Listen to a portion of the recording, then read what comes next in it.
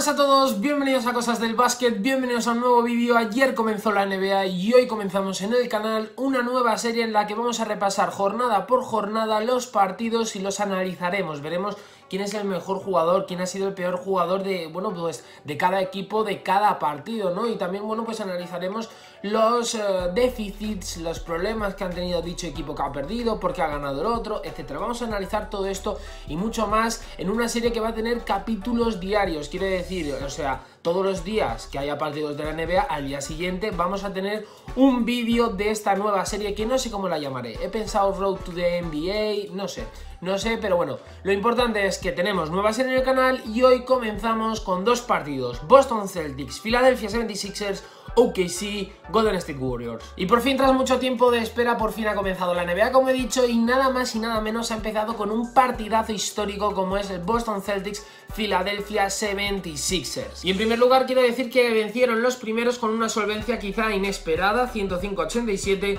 la victoria por 18 puntos de los finalistas de la conferencia este en 2017 y 2018 se cimentó sin la necesidad excesiva de un Big notable porque entre Al Horford, Kyrie Irving y Gordon Hayward los locales solamente consiguieron acumular 26 puntos. Y bueno, en cuanto a los jugadores, en cuanto al rendimiento, ¿quién ha sido para mí el mejor? Bueno, para mí el mejor ha sido Jason Tatum, otra vez líder de los Boston Celtics que, como he dicho, a falta de ese, de ese juego de Gordon Hayward, que todavía está por recuperarse y estará al 100%, de Kyrie Irving y de Al Horford, otra vez ha sido Jason Tatum el que ha dado la cara por los Boston Celtics, el que ha cogido, bueno, pues las riendas del equipo y ha liderado en esta victoria, en esta primera victoria de los Celtics en esta nueva temporada 2018-2019. Además, también, bueno, pues quiero destacar que el jugador firmó 23 puntos y 9 rebotes. Hayward 10, Horford 9 e Irving 7 y estos, bueno, pues vieron así menos drama en su noche discreta ante el aro. Además, desde el banquillo, Marcus Morris también quiero destacar que afinó con 16 tantos y 10 rebotes, doble doble, y el propio Tatum, según ha señalado la estadística histórica oficial de la NBA,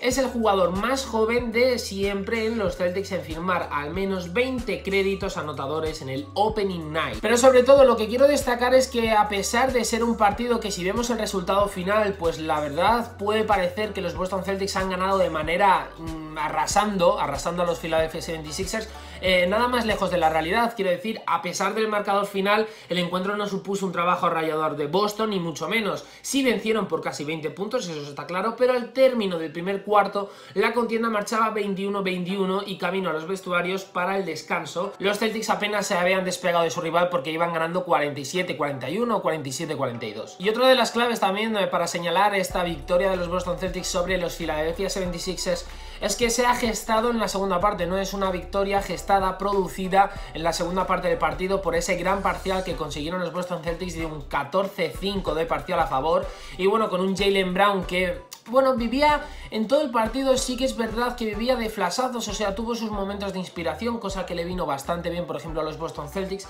Creo que también los Boston Celtics fueron muchísimo más intensos, mucho más sólidos, por ejemplo, en defensa, con tapones como Al Horford, no sé si fue a Markel Fultz o a Gigi Reddick, y por ejemplo, la jugada para mí más destacada del partido, que fue el tapón de Terry Rozier a Joel Embiid. Y bueno, por otra parte, para destacar un poquito el rendimiento de los Philadelphia 76ers, sí que quiero destacar que en cuanto a rendimiento individual, el mejor fue Ben Simons, ya que aparte de dejar alguna jugada bonita de ver, como alguna asistencia, por ejemplo, entre las piernas, etcétera, rozó el triple doble con 19 puntos, 15 rebotes y 8 asistencias. Joel Embiid, que acabó con 23 puntos, pues bueno, realmente estuvo un poquito desaparecido en la recta final del partido. Y luego, por otra parte, también quiero destacar a Markel Fultz, el número uno del pasado draft, que por fin jugó un partido como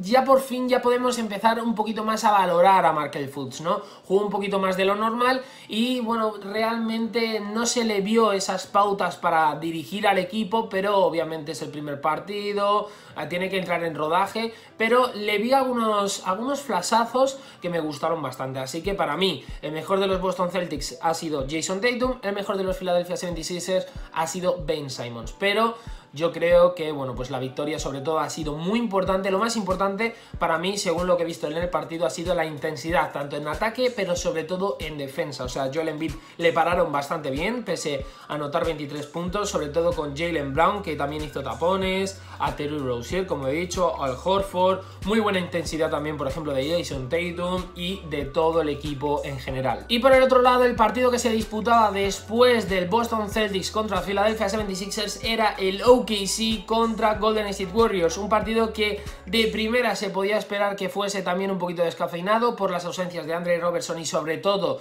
la ausencia de Russell Westbrook, pero con Paul George y Dennis Schroeder no se puede decir nada. Y es que para mí el partido sobre todo, bueno, pues ha estado dirigido en todo momento, bueno, en casi todo momento mejor dicho por Stephen Curry, sobre todo por sus triples, grandísimo partidazo que luego lo analizaremos, pero sí que es verdad que a lo largo del partido, pues bueno, eh, los Golden State Warriors perdieron un poquito el control del partido, sobre todo con esa gran actuación a partir de la segunda mitad de Paul George y realmente sí que vieron un poquito peligrar el partido, pero finalmente, pues bueno, fueron un poquito más sólidos que OKC, se notó en el partido y sobre todo se notó en el resultado final, ya que los Golden State Warriors se llevaron la victoria. De hecho, Stephen Curry fue el mejor jugador de la noche para mí, ya que rozó el triple doble tras firmar 32 puntos, 9 asistencias y 8 rebotes. El base de los Warriors comandó a los suyos en una gran primera parte y lideró la reacción tras la remontada de OKC en la segunda, siempre bien secundado por un Kevin Durant que se fue hasta los 27 puntos Clay Thompson, por su parte, nunca llegó a sentirse cómodo en ataque y se quedó en 14 puntos con un 25% en acierto de tiro. Y además también quiero destacar en Golden State Warriors a Kevin Looney, el héroe inesperado cuya irrupción en los minutos finales ayudó a los Warriors a cerrar el choque. El pivot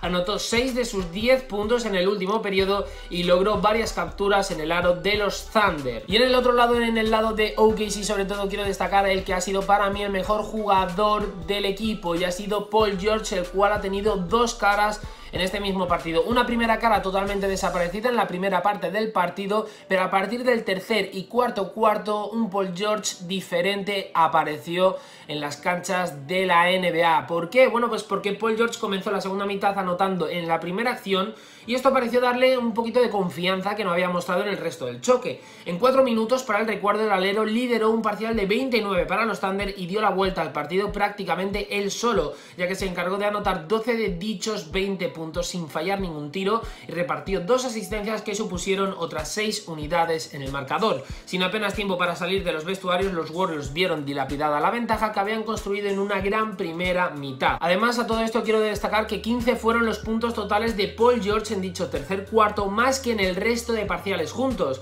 El alero acabó con 27 puntos en su casillero, pero no fue suficiente para derrocar a los vigentes campeones, que estuvieron más enteros en el tramo final. Y además también, bueno, pues a esto le quiero sumar a Dennis Schroeder, la otra gran figura de OKC que firmó 21 puntos y 9 asistencias. Y esto ha sido todo, este ha sido el repaso de los dos partidos de esta jornada, esta primera jornada de la NBA. Y bueno, antes de terminar quiero deciros dos cosas. Los partidos de mañana, de esta madrugada. ¿Cuáles son los partidos de esta madrugada? ¿Cuáles son los partidos que se van a jugar esta noche? Bueno, pues vamos a tener un Milwaukee Charlotte, Brooklyn Nets, Detroit Pistons, Memphis Grizzlies, Indiana Pacers, Miami Heat, Orlando Magic, el Derby de Florida, Atlanta Hawks, New York Knicks, Cleveland Cavaliers, Toronto Raptors, Nueva Orleans contra los Houston Rockets, Minnesota, San Antonio, Utah Jazz, Sacramento Kings, Denver Nuggets contra los Ángeles Clippers y Dallas Mavericks contra Phoenix Suns. Ahí tenemos el duelo entre Luka Doncic y DeAndre Ayton. Y la segunda cosa que os quería decir es que me sigáis en mis redes sociales, sobre todo en Instagram, porque